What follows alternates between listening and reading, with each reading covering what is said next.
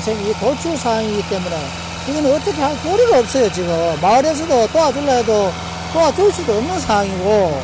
행정에서 군, 군하고 면에서는 어떻습니까? 군에서 면에서는 지금 뭐 어제 안에도 간정을 지금 저 군에서 저 신청을 하라 한다 가지고 지금 신청을 하- 받고 있는데 그뭐 우리 마을만 하는 것도 아니고 다른 마을에 다 일을 하기 때문에 우선적으로 해주겠죠 해주는데 지금 이 상태에서 간정을 바로 파주는 그런 행정에서도 그런 단계는 아니고 파악을 해가지고 자기들이 군사적으로 해야 그렇지. 다른 마을에는 지금 매를 못 심고 있는 데가 많거든요.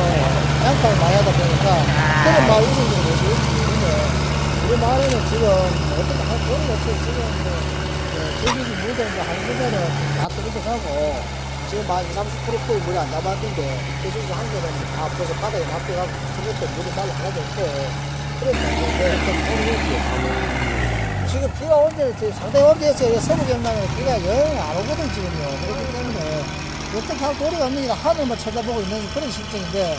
알겠어요 지금. 맨날 물 줘야 되겠는데 아니 그러니까 며칠 더 가고 덜 가고 이제 이렇게 도상 가놓으면 다 죽어 뭐 이제 못하는 사람도 거지, 죽고 이제 큰 손님들만.